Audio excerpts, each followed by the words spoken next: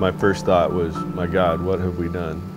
We got a lot of work to do because we proved that this can actually work.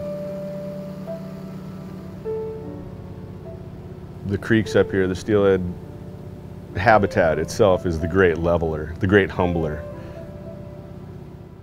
Come up here and try to roll cast into a pocket underneath a conifer and drift it through a root wad and then pull it out before it gets stuck in the log jam, all the while minding the trees that are two feet over your head.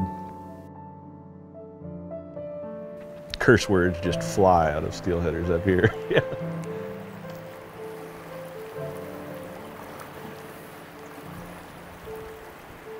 Seeing them in a river is the easy part.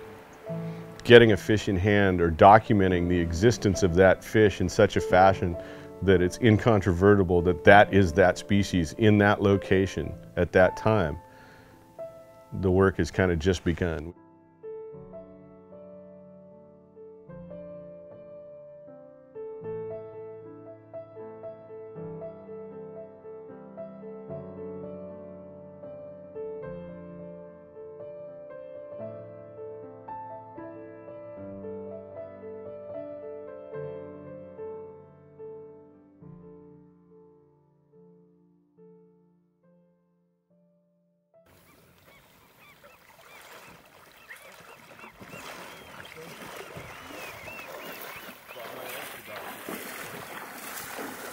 To be honest, there's not a whole lot of money I've ever made in my life that didn't derive directly from fish.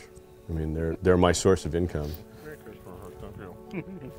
Somewhere along the path, you realize, hey, fish are kind of important to me. And you look around at all your friends, you go, you know, these are, these are important. And the bank's not going to give loans to somebody who's, who's not invested in the resource. There we go. So it drops in there just like that. As a lifelong admitted fish nerd and addict, I like likes too weak. I love fish, and they they've intrigued me since I was a small child. Water and fish. The more I know about them, the more I realize that I don't know anything about them. But then, the more I know about them, the more I realize that the people that are managing them may not have the firmest grip on what's going on.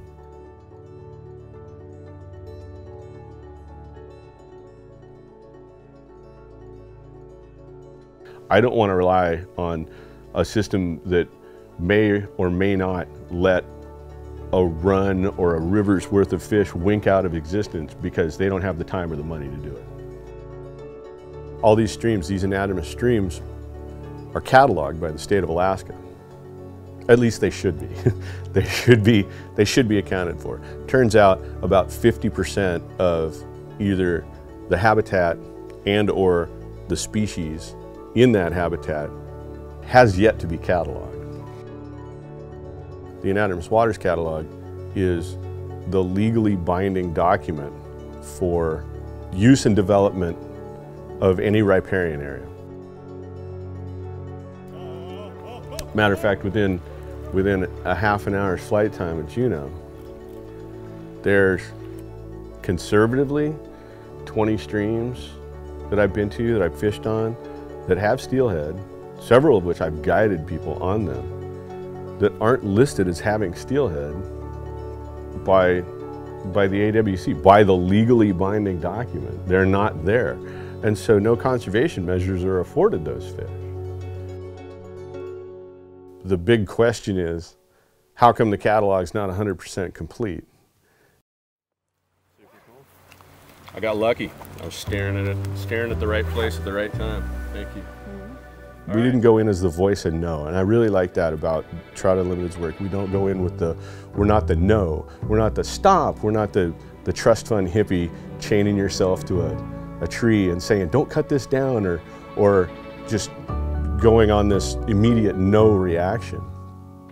It's a, it's a well-reasoned sit down, talk with all sides, find a balance point in there, but always be insistent that the fish need to be weighed on the balance. They can't just be mitigated against. You can't just build a hatchery and replace what, what has taken thousands upon thousands of years to make.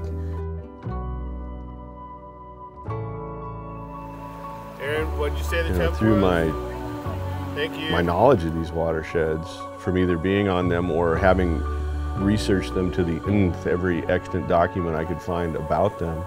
We kind of settled on a suite of, of the T77 watersheds to go into to see if they were steelhead.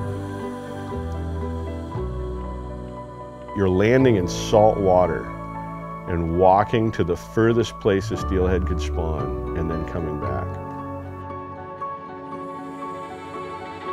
We have the records of the fish. We have fish in hand. We've got the coordinates that they came from.